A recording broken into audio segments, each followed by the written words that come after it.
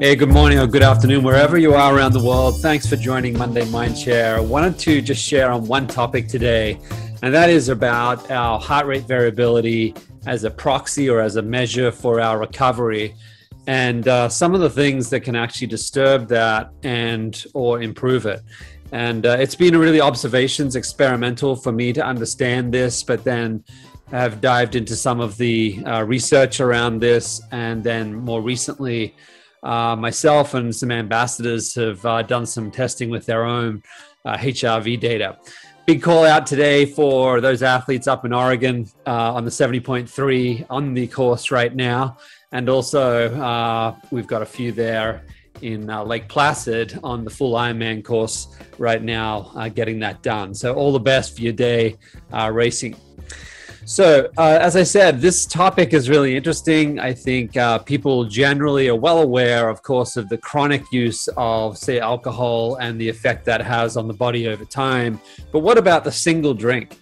A single drink in the middle of a week, we have trying to balance training with life, and we just want to try to uh, calm things down, and we we have a drink, and it's obviously fairly common practice. Certainly, want to think about this coming into closer to race periods, what's the implications for my heart rate variability? For HRV, obviously, it's a measure of that balance between the sympathetic and the parasympathetic nervous system. And these two parts of the autonomic nervous system are trying to balance themselves all the time relative to the environment that we're in. And usually, for athletes and professionals, um, it's common to see the sympathetic uh, nervous system or the fight or flight response elevated, and the parasympathetic, which is meant to relax and to settle us down to help with digestion and things like that, is uh, actually compressed or reduced.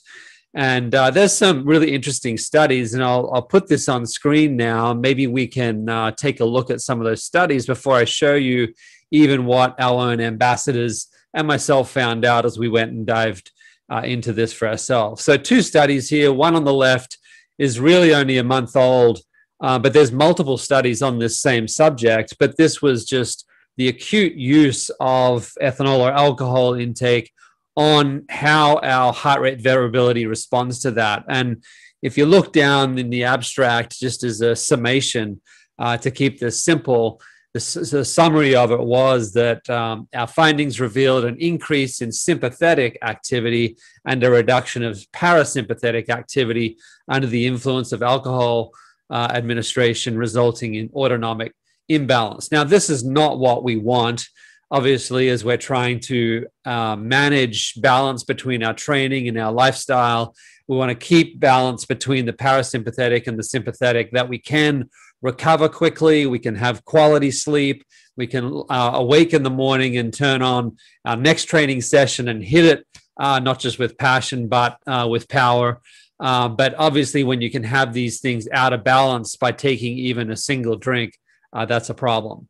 Uh, I said multiple studies. you can go into the the net and search them down and see very similar comments made. And certainly, as you get uh, beyond that single drink, it's even more uh, consistent. The studies are calling out the problem with that upregulation of the sympathetic response and the downregulation of the uh, parasympathetic um, nervous system.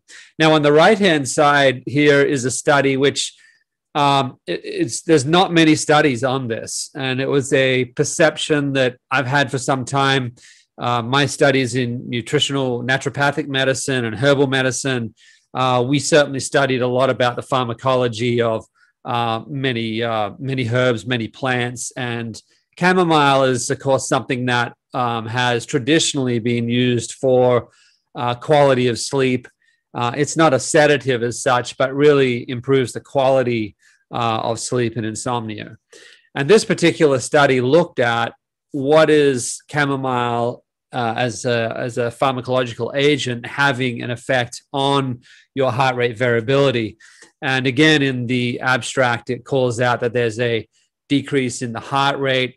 Um, and then this uh, ratio we, we read here, reference of the ratio, which is really that reference of sympathetic uh, nervous activity, was greater. Um, So a reduction of it, sorry, I should say, um, was greater after drinking chamomile tea. So this is saying that by taking chamomile tea, that heightened sympathetic response can actually be be brought down. There's some other references here to some other uh, testing they did with which are also uh, reference points or proxies of the parasympathetic and the sympathetic being brought into balance through uh, chamomile tea, which is quite interesting.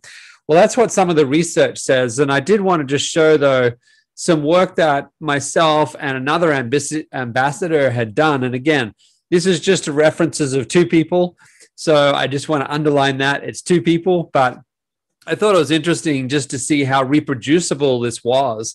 On the left hand side, my own data while on vacation of having a single uh, alcoholic drink uh, each night. Um, you can see there from the Tuesday, the 22nd, in this red box, through till that Sunday, the 27th. So just a, sing- a single drink. Um, and you can see that my heart rate variability during that time was sitting somewhere between just above 60 and probably somewhere around 45. Now, for me, normally it should be in the 75s, 85s, and 90. That's healthy for me in terms of my heart rate variability. You can see that these were all quite depressed values while I was taking that single drink a night. Now, again, this is while I was on vacation. A lot of the occupational stress is taken off the table. Uh, we were hiking each day with a family, enjoyable time. Uh, but you can see the effect it's having on that heart rate va- variability of depressing um, my parasympathetic response and really heightening my sympathetic response. And on the 28th, you see it spike back up there, Monday the 28th. And that was the first day that I stopped alcohol. I took chamomile tea, which I've been a, a, a user of chamomile tea for a long time. I've always had this perception um, and it's just been perception um, that it that it helps my quality of sleep. I wake in a much better uh, frame of mind. Uh, exactly how it's doing that, I'm not sure, but the data that I'm starting to see, and I'll get on to what my ambassador, um, the data that uh, they uh, provided us, they also showed, but it it does seem like it ha- is having a balancing effect on the vagal tone or the, the tone between the sympathetic and the parasympathetic nervous system. So the ambassador data here is taken over um, uh, a week uh, of going on to chamomile tea. Um, and it was just something I had shared with our uh, Facebook ambassador team, uh, racing team, on the use of chamomile. And this particular ambassador thought uh, they would try that. And what you can see here is the green that begins to show down the bottom here is um, you know a higher um, uh, heart rate variability measure on their particular application. I'm not sure if they're using a watch or a strap, etc. Um, but it's higher when they were taking the chamomile tea. And you can see on the 4th of July here, this red box, it comes back down. 4th of July, there was a uh, alcoholic beverage had that night. Uh, not surprising in the US. You can see though it coming back down following day, back on the chamomile, no alcohol. It has come back up. They obviously missed a measurement on the 6th. They remained on the chamomile tea then throughout, and you can see that it's coming back in the green here. Again, took another drink on the 10th. Same story, compressed down, come back to the chamomile, came back up. So again, this is just two um, particular um, athletes just trying it, but I thought it was interesting to share and as we think about coming into, uh, we are in race season, and we think about managing optimal uh, recoveries and rest and getting ready for our A races, coming into those in our best possible form, clearly um, it would suggest both in research and just some of the uh, personal testing done with now these 24 by 7 heart rate variability monitors, you can see the effect that alcohol can have on upsetting the balance between your sympathetic and parasympathetic nervous system. Uh, you can see some of the improvements both in the research and also in just personal testing of what something like chamomile can do each night. Find out for yourself, see what it means to you, but that's what some of the data is showing. I thought it was good to share. All the best, stay healthy, stay well, go longer. Hope this was helpful. Thanks for joining Monday Mindshare. Talk soon.